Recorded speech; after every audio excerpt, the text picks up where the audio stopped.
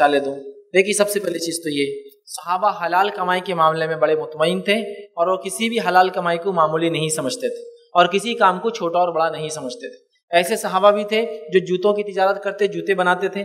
ऐसे सहाबा भी थे जो गोल्ड और सिल्वर और डायमंड के मर्चेंट्स थे मतलब सोना, चांदी और हीरो की तिजारत करते थे। ऐसे सहाबा भी थे जो मार्केट में लाके मालों को चादरों पर रखकर फरोख्त करते थे। तो ऐसे सहाबा भी थे जिनके हज़ारों, हज़ार ऊँट सफ़र करते एक मुल्क से दूसरे मुल्क सामान लेके तजारत का मतलब एक इतना छोटी तजारत की रास्ते पर बेच रहे हैं तो दूसरे इतने बड़े मर्चेंट्स थे।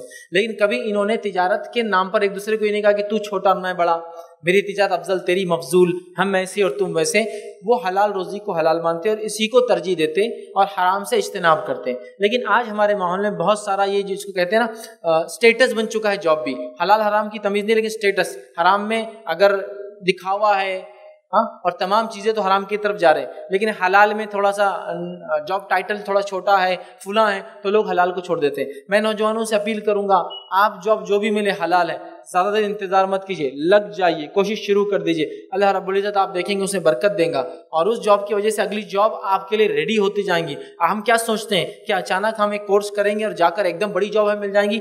नहीं, आपको छोटे से शुरू करना है। क्योंकि हर बड़ी चीज़ की शुरुआत कभी ना कभी छोटी ही होती याद रखी कभी ना कभी किसी बड़ी चीज़ की शुरुआत छोटी थी, याद रखी तो लिहाजा आप शर्माइए मत। मैंने देखा बहुत सारे लोग शर्माते हैं, जैसा मैं मिसाल देता हूँ, मैं एक मुकाम पर किसी जगह जाके एक दर्श लिया करता था तो वहाँ वो एक अस्पताल था तो दर्ज जहाँ मैं बैठ कर लिया करता था तो वहाँ वो कंपाउंडर की सीट थी।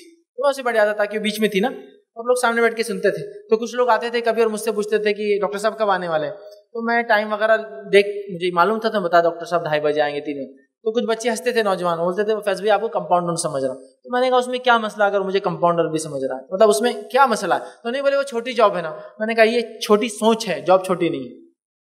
हलाल चीज़ अगर है तो छोटी नहीं याद रखी, हमारी सोच छोटी और बड़ी याद रखिए हम चीज़ों में जॉब में, कपड़ों में, कुर्सियों में बैठने, उठने में डिफ्रेंशिएट करते हैं। अगर हम सादगी इख्तियार कर लेना, जो नबी अकरम सल्लल्लाहु अलैहि वसल्लम की थी, जिनसे बड़ी शख्सियत ने दुनिया में आई है ना, कभी आएँगी, उनकी ज़िंदगी देखो, उनमें कुछ ऐसा मिलता है क्या कि ये स्टेटस है, ये मुकाम है, मैं यहाँ नहीं बैठूँगा, ये नहीं खाऊँगा, ऐसा नहीं उठूँगा, यहाँ नहीं जाऊँगा, इनसे नहीं मिलूँगा, उनसे नहीं मिलूँगा, वो सहाबी ठीक नहीं रहते, अच्छे हाल है, मैं उनसे नहीं मिलूँगा, ये सहाबा मेरे करीब हो, ये सहाबा दूर जाए। कुछ नहीं, वो सादगी आपको मिलेंगी कि ऐसी सादगी न किसी रिलीजियस या नॉन रिलीजियस लीडर में आपको दुनिया की मिलेंगी। ऐसी सादगी थी नबी अकरम सल्लल्लाहु अलैहि वसल्लम में तो इख्तियार करने की ज़रूरत है। तो लिहाजा